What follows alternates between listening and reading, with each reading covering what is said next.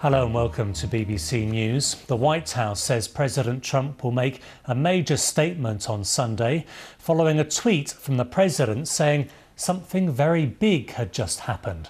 No details have been given of what Mr. Trump was referring to, but there is speculation that it could concern the leader of the Islamic State militant group, Abu Bakr al Baghdadi. US media reports suggest he was the target of a US Special Forces operation in the Syrian province of Idlib on Saturday. Well, with me now is our news reporter, Gareth Barlow. Gareth, what more do we know?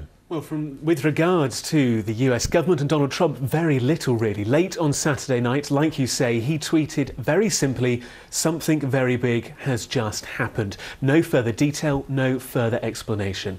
Over an hour later, the White House put out a little bit more expansive comment saying the White House, the President of the United States, we're making a major statement tomorrow. That's Sunday morning from the White House. But again, no further detail, no further explanation.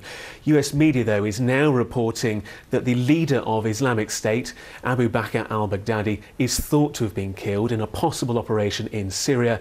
It's worth pointing out, though, the BBC hasn't been able to independently verify these reports and also worth noting that Abu Bakr al Baghdadi has been reported killed on previous occasions. Just remind us of the man, who he is, why he's significant. Back in 2014, in the Iraqi city of Mosul, Abu Bakr al-Baghdadi announced the launch of the caliphate, the Islamic State Caliphate, and over the following years that controlled vast swathes of Iraq and Syria, 88,000 square kilometres of land, and obviously wrought death and destruction to many thousands, if not millions of people as well. And there has then been the international fight back against the group ever since. There was not really any sight or sound of him until April of this year when there was another video released. And that lack of information, that lack of awareness as to where he might be, has prompted speculation in the past, like we say, of possible killings, although it's now being reported in the US media that there may have been an operation recently. On that note, what exactly is US media reporting on? What are the details? Well, Fox News is citing a well placed military source saying that Abu Bakr al Baghdadi was killed by US forces in Syria close to the Turkey Syria border.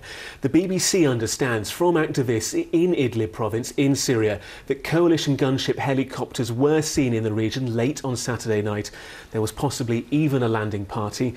And then the US media outlet Newsweek reporting that Abu Bakr al Baghdadi may have been involved in a small firefight and possibly detonated a suicide vest when he wasn't able to get away. OK, Gareth, thank you very much.